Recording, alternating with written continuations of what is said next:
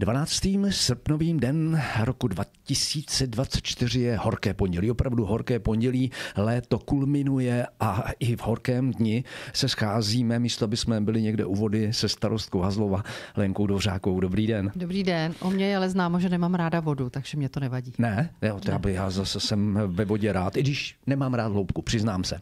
Ještě než se dozvíme, cože se děje v malebné obci Hazlov, musím připomenout naše partnery, kterými jsou firma firma Petainer, dále je to firma Abidos, Iron Shield, bezpečnost pro všechny, železářství Vojík a také Vltava Labe Media. Vydavatel deníků vždy s aktuálními informacemi, jenom a jenom pro vás. Paní starostko, Hazlov žije svým životem bohatým, kulturním, ale také nesmíme, nesmíme zapomínat na klasickou práci starostů, na takovou tu každodenní starost. Nenápadně se blíží konec prázdnin a blíží se také začátek školního roku, čímž určitě neděláme úplně radost dětem, No jo. A některé děti se ale do školy těší. Fakt, jo, jsou takové, jo. Určitě. Já jsem teda takový fakt nebyl. Já jsem se nikdy netěšil. Pojďme, pojďme za tím, co se děje u vás u školy. Ehm, máte připravenou školu, abyste eh, zamířili s dětmi eh, za prvňáčci, to budou mít poprvé, eh, třídy připraveny, nehrozí, že by škola náhodou zůstala zavřená? Nehrozí, my jsme eh, letošní prázdniny nedělali žádné velké zásahy uvnitř školy, akorát v tělocvičně jsme opravili světla, eh, vymalovali jsme tam, takže škola je připravená a ten obrázek, na který se díváme venku, hmm. tak tam eh, se bude budovat takové hřiště pro družinu. Mm-hmm. Znamená, že přibudou nějaké nové herní prvky a děti si tam budou moc hrát, odpočívat? Přesně tak, přibudou tam herní prvky, tak aby když jsou děti v družině a mohli jít ven, protože teď jsou ty dny hezké, suché, teplé, tak aby mohli být venku, nemuseli do parku přes silnici, tak budou mít tady v družině, eh, na, svém hřiště, na svém pozemku i dětské hřiště. Mm-hmm. Bude hotovo do konce prázdnin? Určitě bude hotovo Stihnete do konce prázdnin. Hmm. Dobrá, můžeme uklidnit rodiče, kteří náhodou měli problém s tím, cože se děje, tak... My jsme vlastně čekali, až skončil příměstský tábor, ano. protože ty se pohybovali venku na tom hřišti, takže jsme se tam nemohli pohybovat s technikou, ale teď už teda pojedeme. Hmm. Od 1. září děti budou mít Hazlovskou školu připravenou a budou mít připravené také nové herní prvky v rámci družiny přímo na zahradě, která sousedí se školou. Pojďme za věcmi, které hýbou všemi obcemi a městy. A to je dopravní infrastruktura. Já vím, že je to bolavé místečko Hazlova. Teď jsem si objel některé cestičky, které jste slibovala, že budete opravovat. Přikročíte tedy k nějakým úpravám a už se na nich pracuje? Přesně tak. Jsou komunikace, které eh, v současné chvíli opravujeme. Nejsou to teda nějak velké nebo nákladné opravy. Přijde tam většinou frezovaná a na ní, na ní ta emulze, tak aby to vytvořilo v podstatě vrstvu takovou, jako je asfalt. Hmm. Eh, tyto opravy jsou vlastně, eh, dá se říct, eh, svým způsobem provizorní. Jak dlouho taková úprava vydrží? Záleží asi na zatížení toho povrchu, že jo? Záleží na zatížení povrchu, ale tady vlastně, kam se díváme, tam se ještě bude kopat, tam nejsou uloženy všechny sítě, takže tam ani nemůžeme udělat trvalou, hmm. trvalou, trvalý povrch. Hmm. To bývá často v místech, kde se vlastně stále chystá nějaká výstavba a pro výstavba v Hazlově máte ještě nějaké volné pozemky? Určitě vím, eh, soukromých pozemků je tam několik, jestli sedm, osm ještě volných a my chystáme teď zasíťovat, příští rok na jaře bychom chtěli začít zasíťovat osm pozemků vhodných pro stavbu. Mm-hmm. Znamená to, že rok 2025 bude takový přelomový v tom, že budete moci začít nabízet pozemky? Rádi bychom už v roce 2025 pozemky prodávali, tak aby se mohlo třeba v roce 2026 začít stavět. Hmm. Vraťme se k cestám, paní starostko. Tady se naši diváci dívají na další. To už je cesta upravená, nebo se ještě bude na to dávat ten ne. asfaltový, nebo ten postřik asfaltový? Tady se právě strhl, strhla uh, ta ten, původní vrstva, jo? původní vrstva, která tam byla a přijde na to uh, ta frézovaná a navrch ještě ten, ten postřik. Mm-hmm. Uh, co je vaší noční můrou, eh, nebo co je nejhorší cesta, na kterou si v Hazlově občané nejvíc stěžují? Tak Máte nějakou takovou?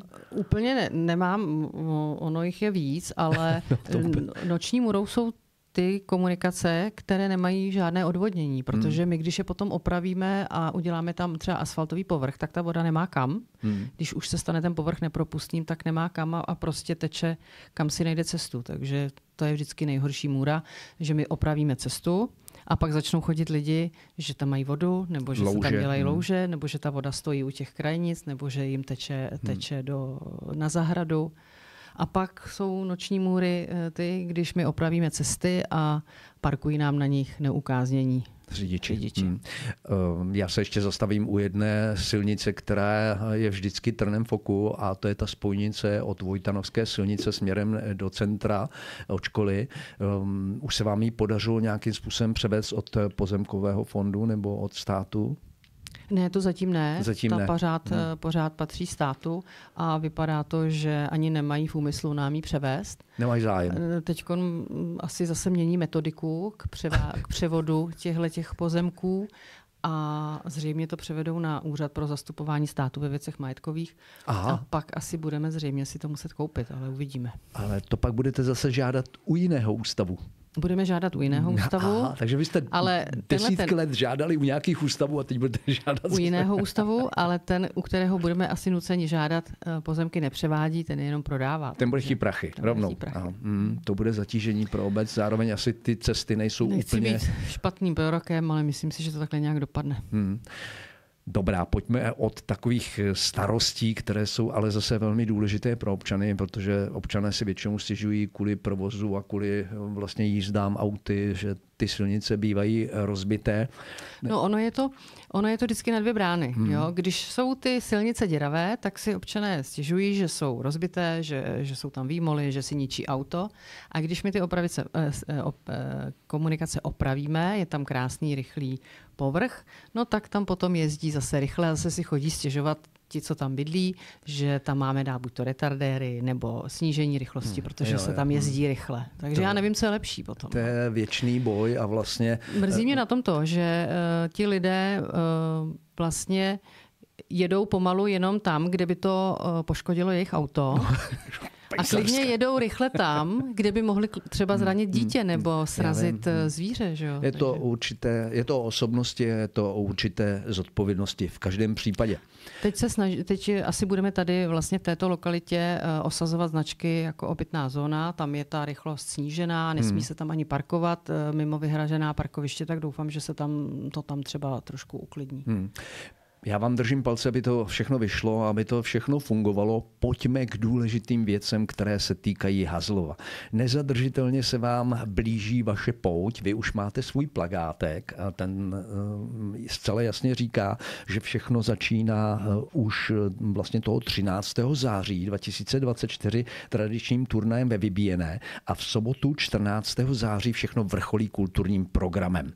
Podařilo se vám opravdu sehnat nebo dohodnout, že přijede Marcela Březinová, skvělá zpěvačka, dále eh, Zbigněk Drda, eh, přijede Petr Bende s kapelou. Je to tak? Je to tak? Přesně tak? Jo, vy jste tak řekl, tak odhodlaně. Přesně tak, už se těšíme. už se těšíte. Eh, co vám může zhatit pouť?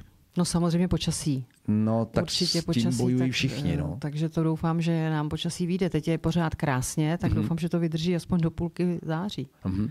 S tím, eh, s vaší poutí, která je velmi programově bohatá, souvisí také eh, vaše tradiční soutěže. Soutěže v pečení eh, chutných koláčů a dotíčků a ňaminek různých pochoutek a pak také soutěž květiny pro Hazlov. A v jaké jste fázi?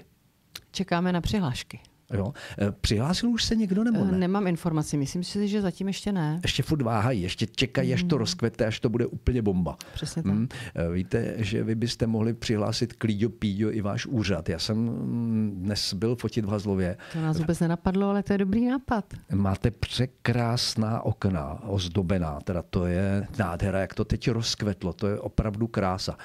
Přátelé, takhle vypadá Hazlovská radnice v srpnu roku 2024. Vy všichni, kteří ještě váháte eh, z Hazlova, kteří byste se chtěli přihlásit eh, v rámci květiny pro Hazlov do soutěže, tak vězte, jsou připraveny hodnotné ceny a stačí jenom vlastně nafotit okno, které je viditelné z veřejných prostor. Je to Přesně tak? tak. Okno, balkón, zahradu. Zahradu. Před hmm. zahrádku. Hmm. Hmm. E, nějaké starosti kolem, kolem přípravy poutě? Momentálně zatím ne, tak teď je takový ticho před bouří mm-hmm. a všechno se to odvíjí od toho počasí. Máme teda objednané stany, takže doufejme, že pršet nebude. Mm-hmm. Zeptám se, jak s tou vybíjenou? Máte nové týmy? Zatím ještě se nikdo nepřihlásil, ale... Helejte, vy v tom my... Hazlově to všechno necháváte na poslední ale tak chvíli. ono je to všude, že, ty, mm. že se všichni všude přihlásí nebo rozhodnou, že půjdou až na poslední chvíli. Yeah. Takže já si myslím, že zase budeme mít třeba těch pět týmů, jako hmm. vždycky. To je tak optimum 5-6, protože když je jich potom víc, tak uh, není toho času tolik a nemůžou hrát všichni, jako každý s každým. Jo, je to složitější. A když pak hmm. někdo prohraje, tak už si vlastně nezahraje. Takže... Je to vyřazovací turnaj tím Přesně pádem. tak, tak, ale už máme složení uh, týmu obecního, tak to jsem ráda, že letos možná ani nebudu muset hrát. Obecní úřad získal Obecní, nějaké posily? Získal nějaké posily, takže... Bejce. Takže, no bejce asi ne, to asi ne, ale my už tým máme, takže já jsem spokojená. A, a Abidos trénuje hasiči, takže tři týmy budou určitě. jak řeknete, Abidos trénuje. Víte, asi vždycky, minule se to říká tak, jak jsem si tam představil ty lidi z toho Abidosu, ty dělníky, jak tam mydlí s tím míčem vozeť a připravují se na, to, na tu vyběnou. No, tak ozec snad přímo nemydlí. Ale... no, no, ale jde. Do kdy se mohou týmy přihlásit? Těsně před turnajem? Těsně před do 9.9. to proto, abych mohla nakoupit občerstvení. Aby, abyste mohli uzavřít prostě přihlášky a to. Dobrá, nezadržitelně se to blíží všechno a uh, může teda kromě počasí, uh, co je takovou tou noční můrou toho pořadatele?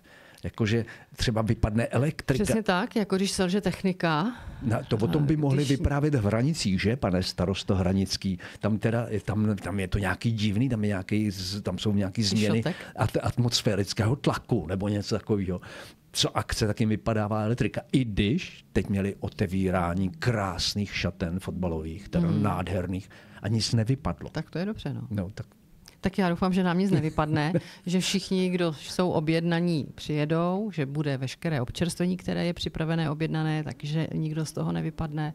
No a že teda nebude v okolí nic eh, lepšího, tak aby nám přišli i ti hosté. Mm. Já tady slyším nějaký divný zvuky, mě se od, od, ozývají do kamery.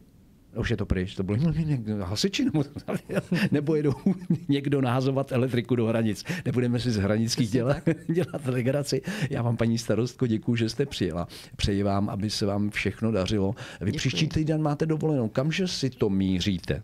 Nikam to... si to nemířím, budu doma. Budete doma uklízet. Tak, ne, tak nějak, no. ne, tak, tak nějak. to není dovolená, paní starostko. A pro mě je to taky dovolená, protože když to nestihnu uh, v průběhu roku, hmm. nebo to, tak zase já mám potom z toho radost, když mám uklizeno. Dobře, já vám děkuji za návštěvu a těším se s vámi zase někdy na viděnou a naslyšenou nad novinkami z obce Hazlov. Připomenu všechny partnery, Petajner, Abidos, Iron Shield, železářství Vojík, Vltava Labe Media, vydavatel deníku s aktuálními informacemi pro vás a mým hostem byla Lenka Dvořáková. Naschledanou. Naschledanou.